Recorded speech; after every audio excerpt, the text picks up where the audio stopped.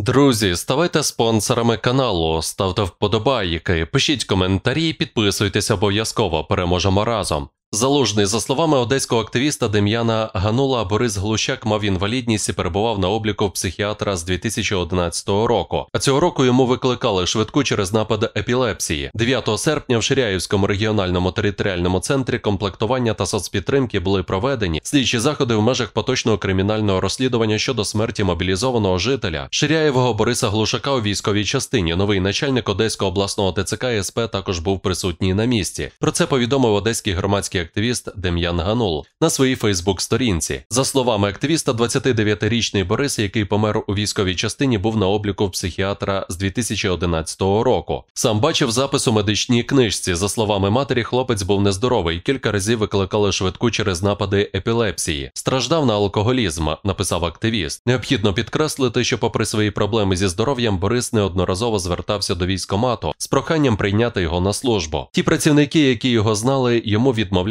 через алкоголізм і низку хронічних захворювань. Але цього разу йому вручили повістку незнайомі з ним раніше працівники ТЦК і відправили на ВВК, додав Ганул. Активіст зазначив, що відповідно до закону співробітники військово-лікарської комісії мали призначити обстеження Бориса, враховуючи його стан здоров'я. Але того дня голова ВВК Ірина Колонтай вирішила по-іншому та підписала Борису путівку в один кінець, написав Ганул. Одну з останніх фотографій Бориса було зроблено 2023 року в лікарні після перенесеного нападу епілепсії. За словами Ганула, за останні три роки до нього викликали швидку допомогу, щонайменше чотири рази, що підтверджено відповідними записами. Зараз Колонтай з колегами чистить усю документацію в місцевій лікарні, щоб уникнути покарання, але ми все знаємо, наголосив Ганул. Мобілізація необхідна, але невже ЗСУ потребує алкоголіків і психічно хворих людей? Мотиваційну історію слід підіймати, а не насильницьку мобілізацію частини населення, яка деградує. Пише Ганул: хочу дочекатися закінчення слідства та побачити результат, де винні понесуть покарання. Варто зазначити, що про смерть мобілізованого стало відомо ще 6 серпня, коли про це написали в місцевому пабліку, а потім повідомили місцеві змі. Однак Одеський обласний ТЦК СП досі не коментував цей випадок. Водночас речниця оперативного командування Південь Наталія Гуменюк заявила 9 серпня, що військомат отримав документи, які підтверджують придатність чоловіка до проходження військової служби, і запропонувала ставити запитання лікарні.